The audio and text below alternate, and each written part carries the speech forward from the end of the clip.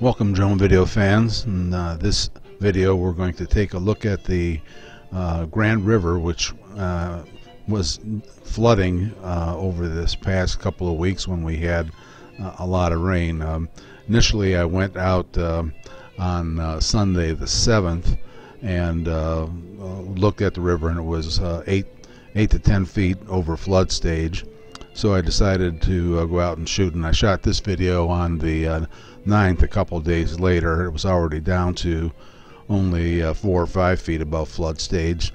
But um, we got plenty of video using the uh, DJI Phantom 3 Advanced uh, UAV, and so we drove to a spot that is uh, equidistant between, right on the border actually, of uh, Lake County and Ashtabula County. There's a big steel bridge there, and we took off from there after uh, finally getting the compass to calibrate because of all the steel around there. We had to actually get off the bridge. Took off and uh, dropped down here uh, about five feet above the water level and uh, started heading upstream.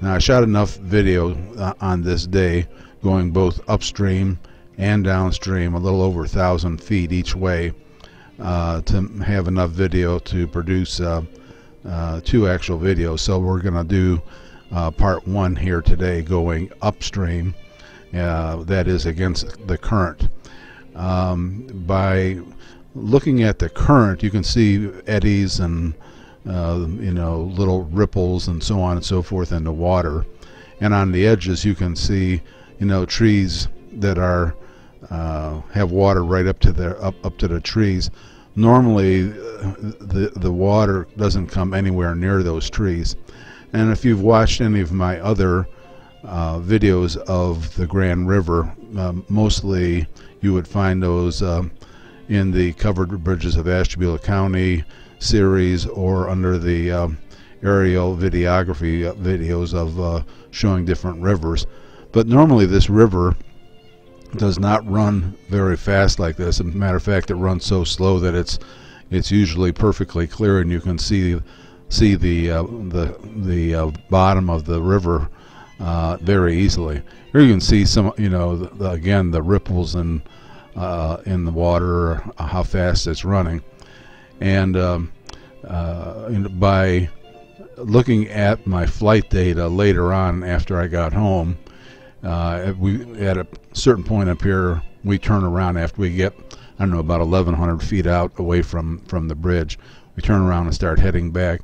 I could I knew that I was flying at about nine or 9.1 miles per hour, and uh, I was staying up, uh, even with the um, with the speed of the water. So uh, I figured, or the water was going maybe a little bit faster than me. So I figured that the water, the the speed of the of the river was somewhere between nine and 10 miles an hour.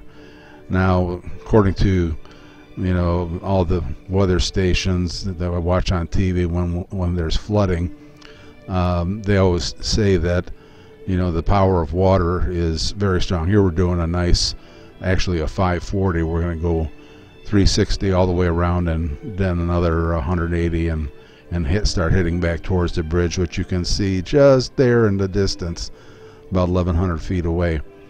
Um, and again, you can see the turbulent water running underneath it, and it's very muddy and silty due to all the stuff it's picked up.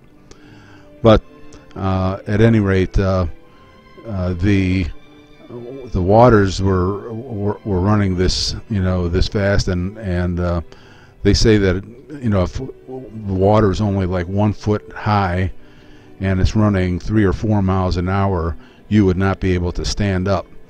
Well, the water here is several feet deep and it's going between 9 and 10 miles an hour so there was no way that uh, you would be able to stand in this uh, in this river as it's as it's moving um, and uh, this is only uh, I think my second or third uh, shoot of the year so I was a little apprehensive apprehensive uh, you know flying low against over this flowing water I turned off the uh, visual positioning system. This particular uh, UAV or drone or quadcopter, however you want to call it, has a vision positioning system on the bottom to help it maintain stability. But you know, frequently when you fly over water, that gets upset by the reflections and glares and so so on of the of the water. So um, the manufacturer usually or recommends that when you fly over water to turn that off. So we turned that off, and we usually turn that off whenever I'm flying over, uh, you know, any kind of body of water, whether it's a river like this one here, or even just a small stream, or or Lake Erie, which I've flown over several times. So we're we're heading back here, and you can see that even though I'm going 9.1 miles an hour according to my flight log data, the water is actually outpacing me. So uh, again, that kind of gives you an idea of how fast the uh, river is running. And uh, normally, uh, this river is probably five to ten feet in on either side uh, of the banks where you see it right now. So it's nowhere near as wide as this.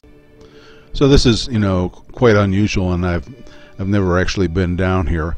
Actually, there were a couple of the uh, covered bridges um, that I that I shot um, were uh, damaged and or had to be moved or uh, vastly repaired because this river, uh, as you can see, it when it overflows at banks, it, it can wipe out a lot of property. And um, for example, uh, in my covered bridges uh, videos. There's one on the uh, Harpersfield Bridge, and uh, the initial uh, 90 or 100 feet of that bridge had to be rebuilt because it, it got wiped out by a, a, flood that was even worse than this one.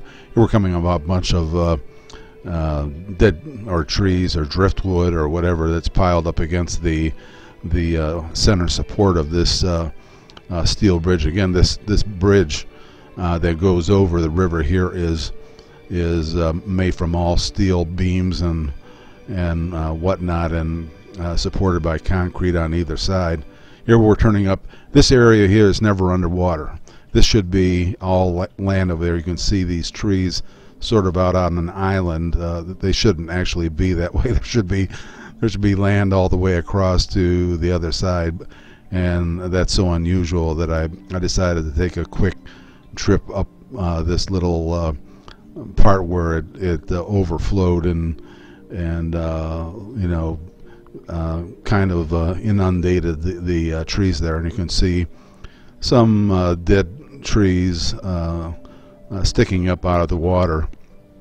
I imagine that some of these trees um, that we that I see uh, along the shore, and you'll you see some of these if you pay attention. The they look uh, a lot of the trees are green and showing signs of life, but a lot of other trees are, are look kind of looking dead, and I'm wondering if that's not being caused by uh, the flooding, uh, you know, the the too much water on the root system or or something like that, and causes them to flood. But um, for one reason or another, the there's a lot of uh, trees, and we'll be coming up here. You can see me standing up there on the bridge if you look real close.